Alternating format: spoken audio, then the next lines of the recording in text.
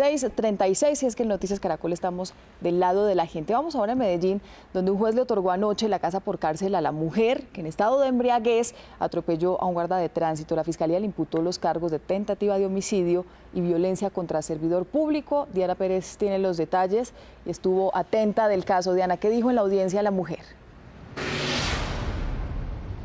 Mónica, la mujer no se allanó a estos cargos y dio varios detalles durante la audiencia, pues uno en particular, y es que asegura que en el momento que le estaban haciendo la captura, cuando llegó toda la gente para eh, lograr que la mujer saliera del carro, todo el frente del Parque Otero hasta donde arrastró el agente de tránsito, asegura que en ese punto varias personas entraron a su carro y le robaron varios objetos de valor. Pues mire, esto fue lo que ocurrió en esa audiencia que duró hasta las once y media de la noche de ayer.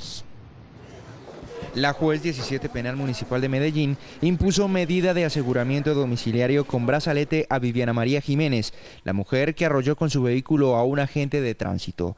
A la mujer de 26 años se le imputaron los cargos de tentativa de homicidio y violencia en contra de funcionario público.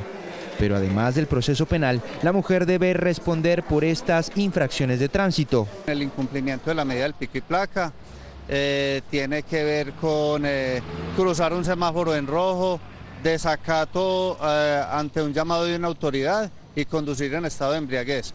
Quienes observaron lo sucedido señalaron que la imprudencia de la conductora pudo terminar en tragedia.